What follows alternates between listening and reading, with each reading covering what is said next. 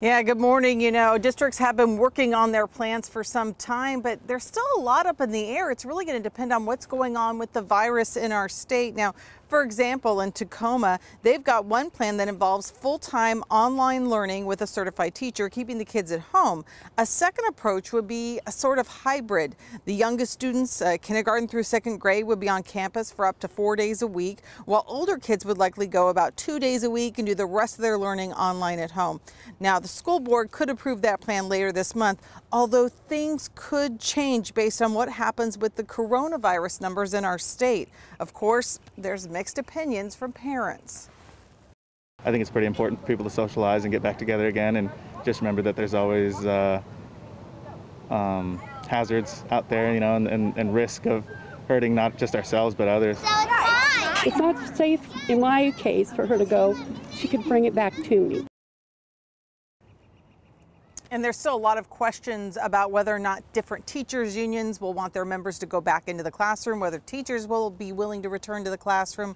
Uh, so far, there is no requirement from the governor that school has to happen in person. So it is feasible that students could return to online only classes. Once again, the governor and the state superintendent will be meeting later today to discuss all of this. We're live in Bothell. Amy Moreno, King 5 News.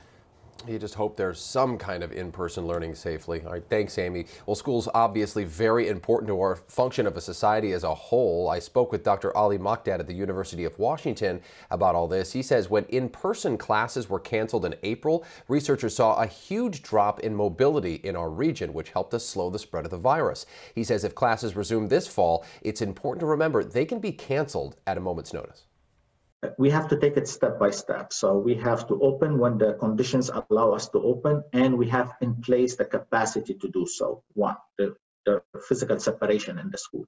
If we have it, we can open. But at the same time, we have to keep an eye on the virus, how it's circulating, and we have to be ready to dial back if we see the conditions are getting much worse. And Dr. Mokdad also says if there is any in-person learning, masks should definitely be required for everyone, maybe.